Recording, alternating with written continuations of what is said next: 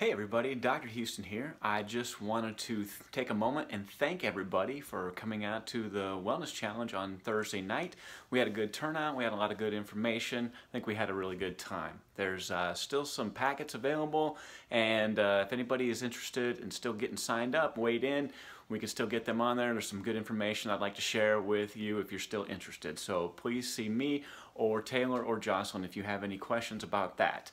Uh, there's one thing that I want to bring up that has kind of come to my attention over the last few days, that there are some people in the media that are talking about the ketogenic diet and how it is not healthy, how it's not sustainable, and how it's not good.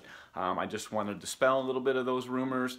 Um, I've done the research on that and I can assure you that it is sustainable, it is a good diet, and it has been very helpful for a lot of people in the past, including myself. Um, if you have any questions about that or you're feeling a little confused, I encourage you to do some of your own research. Um, just be careful about what's out there. And I also encourage you to use us as a resource. Uh, you know, we've had some educational experiences and we've had some experience with the ketogenic diet and how it's helped other people. And we're here for you. You know, we are you are our patients.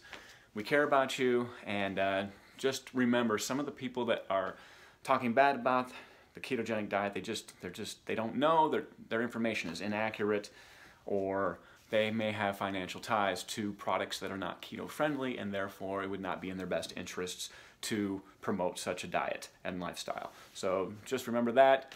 We, uh, we love you, we care about you, we're anxious to see some of the results from the ketogenic diet and the weight loss challenge and I just encourage you to stay strong, stay steady, and uh, we'll be in touch. Thank you.